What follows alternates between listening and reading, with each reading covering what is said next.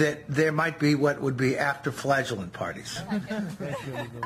the sight of the blood, the, the stripped down bodies and the sweat and the, the, the, lean muscular frames and all of that no doubt aroused many young female peasant hearts. That and the fact that you just had so much emotion loose in that at that moment in time.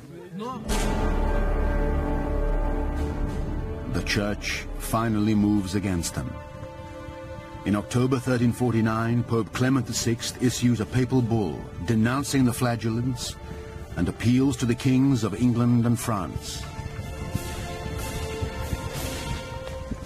The church actually has to look to the political uh, means of stopping the flagellants. The flagellants begin to be arrested by military officials.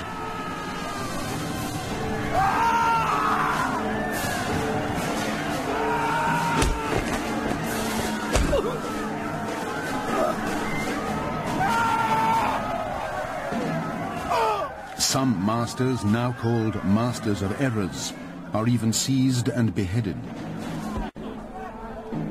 Wir befinden dich für schuldig. Du hast Unglauben verbreitet. Du bist zum Tode verurteilt. Soll Gott deine Seele schützen.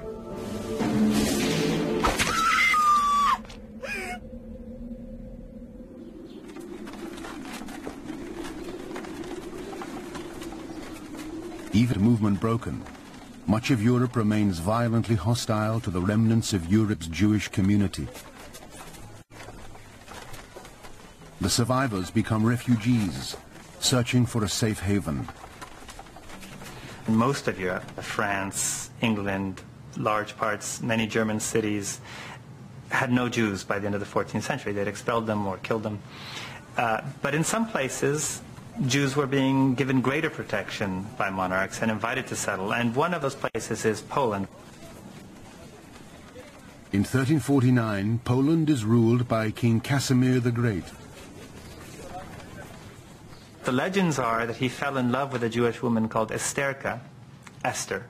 And it was out of love for her that he issued this bull of protection to the Jews of Poland and invited more Jews into Poland. One of the ironies is it pushed the German Jewish community toward Poland. And 700 years later, that sort of came full circle again with the same group of Germans. In the winter of 1349, the plague pushes north to the Scandinavian peninsula. By the time it reaches Russia two years later, the crisis is over in France.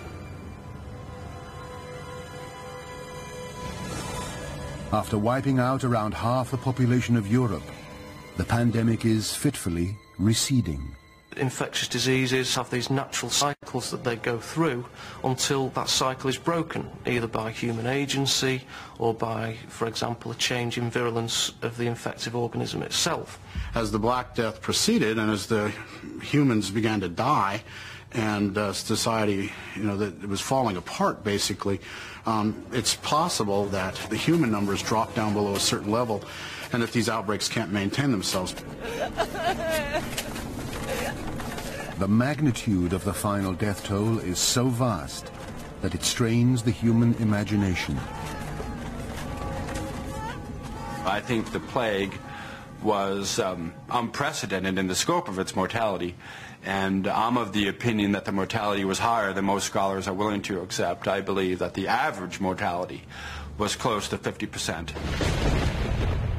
not a third or 30% as, as most scholars claim. Monasteries in particular have been devastated.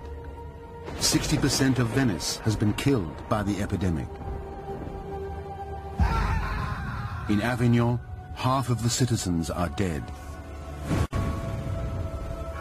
At the monastery in Montpellier, where Guy de Chauliac received his training, only seven of the 140 monks are left.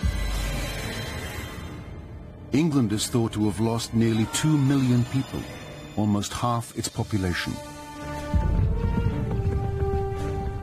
But Edward III, King of England, survives, as do most nobles who have taken shelter on secluded country estates.